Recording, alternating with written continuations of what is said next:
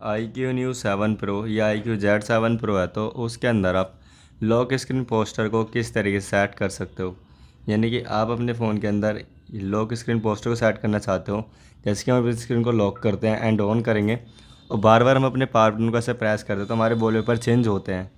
तो इस वक्त हमारे वॉलपेपर चेंज नहीं हो रहे तो हम यहाँ पर जब तक लॉक स्क्रीन पोस्टर को सेट नहीं करेंगे, जब तक हमारे वो वॉलपेपर चेंज नहीं होंगे तो उसको सेट करने के लिए हमको सबसे पहले अपने फ़ोन की सेटिंग को ओपन कर लेना है।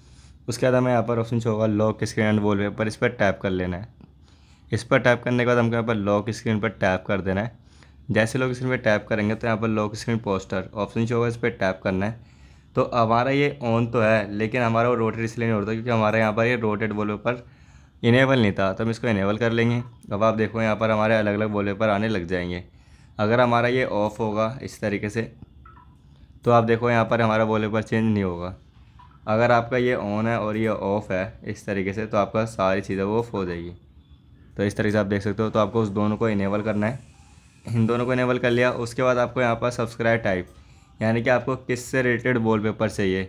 सेलिब्रिटी मूवी और साइंस और बाकी सबको मैं यहाँ से एक कार को रख देता हूँ। बाकी मैं सब इनको हटा देता हूँ मेरे को स्पोर्ट्स चाहिए। और यहाँ से मैं इसको भी हटा देता हूँ। और यहाँ से बैक करेंगे। अब आप देखो यहाँ पर जो जो मैंने सेलेक्ट कर रखा था स्पोर्ट्स सेलिब्रिटी ये ये खाली वॉलपेपर आएँगे।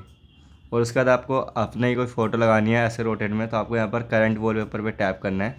और यहाँ पर आपको लोकल वॉलपेपर पे टैप कर देना है। तो आप फ़र्स्ट टाइम करोगे तो एग्री कर देना है और यहाँ से अपनी फ़ोटो को सिलेक्ट कर लेना है जितनी आपको लगानी है। चेक मार पे टैप करना है।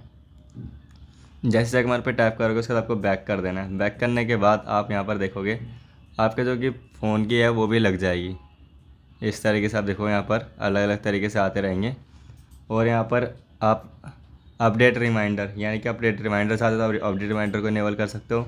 या आप अपने auto wallpaper using mobile data यानी कि आपके जितने भी ये फ़ोटो होती हैं, ये हमारी ये वॉलपेपर ये सारे अपडेट होते जाएँगे नए नए आते रहेंगे, वो आपके फ़ोन में ऑटोमेटिकली लगते रहेंगे। आपको अपडेट करना नहीं है, बस आपको इसे इनेबल कर देना, वो ऑटोमेटिकली अपडेट हो जाएँगे। तो इस तरीके से अपने फ़ोन के अंदर लॉक स्क्रीन पोस्टर को सेट कर सकते हो। अगर वीडियो अच्छी लगी तो वीडियो को लाइक शेयर सब्सक्राइब करें। मिलते हैं नेक्स्ट वीडियो में, जब तक के लिए बाय